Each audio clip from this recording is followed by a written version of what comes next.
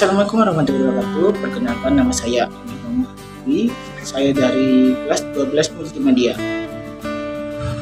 Pada kali ini saya sedang melakukan dokumentasi dari prakerin saya. Dokumentasi ini berada di toko bernama Respo Store atau Resto Project. Ya di Respo Store ini adalah tempat untuk pencetakan seperti printing, fotokopi, desain, dan juga fotografi.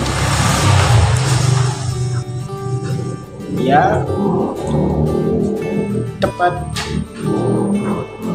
tempat prakerin ini atau tempat dari Respo Store ini berada di Jalan Sunan Kalijogo Gandon timur.